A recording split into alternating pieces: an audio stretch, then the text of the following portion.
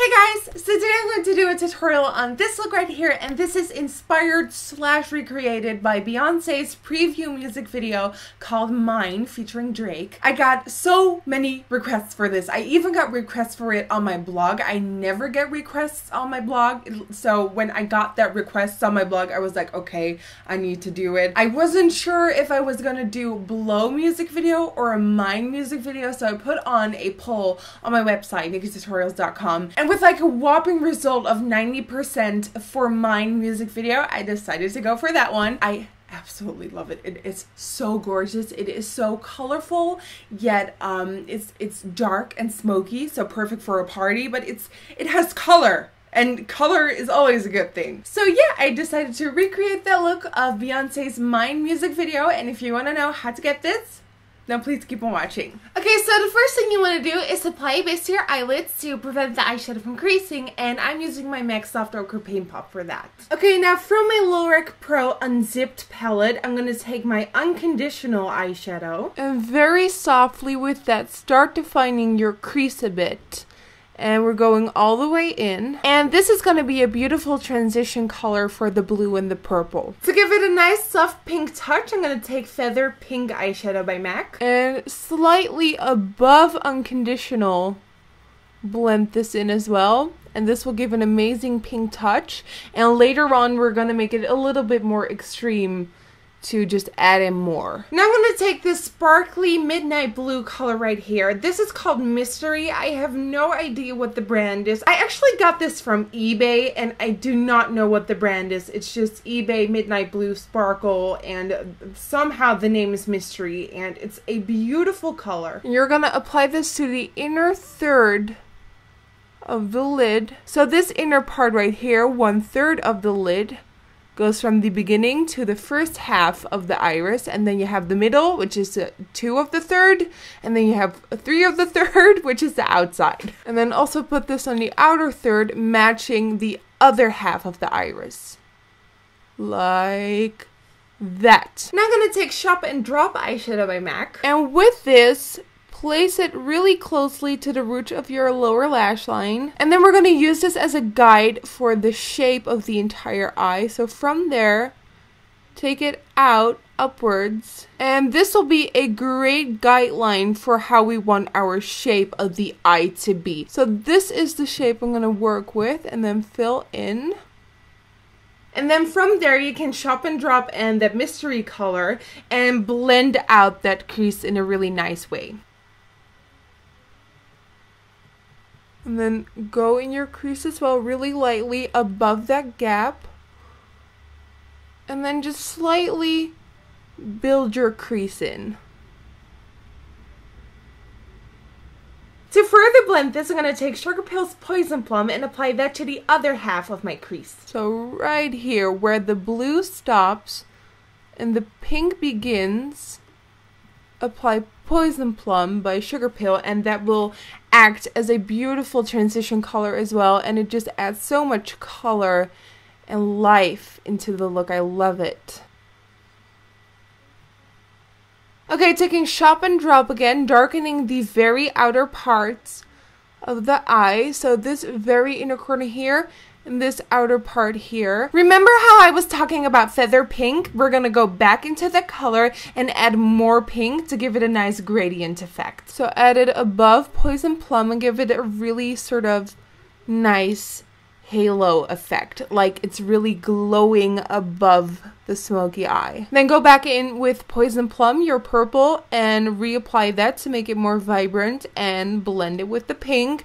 And you can sort of see a really nice gradient coming along. For that pop of blue, I'm going to take Cavu Blue Loose Color Pigment by OCC. And apply this to the part that doesn't have any shadow yet. And just, oh my god, look at that color. Holy crap, holy blue crap. So just pack it on and go up till the crease and then sort of fill that entire gap up with the blue. Then wipe your brush off, really important. And then what you want to do is put your brush at the border of the dark blue and the bright blue and then sort of wiggle it to blend it, to really give it a nice, seamless blend. Now take more of that blue because it's not bright enough. We need more. Again, pack it on. Boom, blue. Wipe that brush off and dusted. For the bottom lid, I'm going to take Sugarpill's Darling pigment and I'm going to apply this wet and it is so stunning. And just apply that really closely to the roots of the lashes and go all the way to the inner corner. Okay, then take that darker blue color again and blend it in towards Darling Pigment. And then you have a really nice sort of blend between those two. This look is all about blending, y'all. Okay, what you want to do now is sparkle up that inner corner. And for that, I will be using my Jewel Effects in Shine by Makeup Studio. And with this, you want to take some and just place it on that very inner corner and kind of dab it out a bit. Okay, to open up my eyes, I will be using my Catrice Made to Stay Inside Eye Highlighter Pen.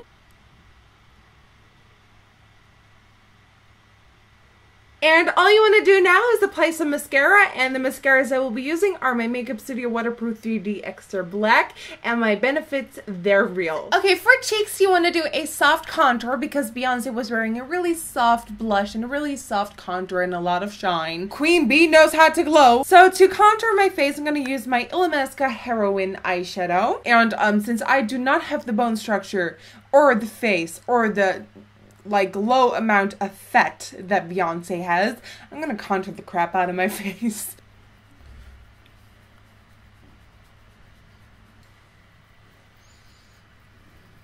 Then to warm up my face a little bit more, I'm gonna take the usual, which is Nude Board Bronzer by MAC, and then just warm it up.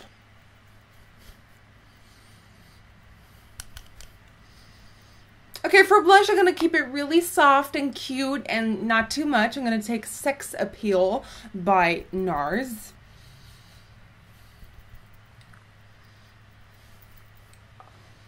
And then at the Dutch drugstores, I recently found an amazing product. This is by Essence, and this is called the Metal Glam Highlighter Powder. And it's just the most stunning champagne golden glow in a pot. So that is what I'm going to use as my highlighter. So first, take a little bit and put it on the highest points of your cheeks.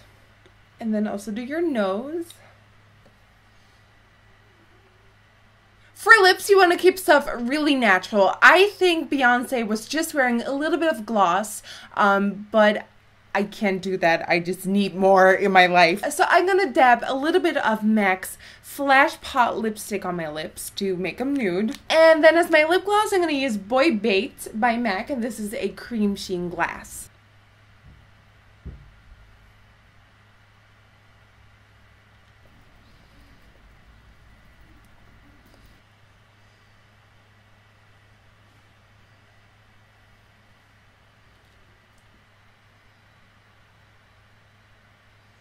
And that, guys, completes this Beyonce Mine preview music video inspired makeup tutorial. I love how Beyonce handled this entire album shtick.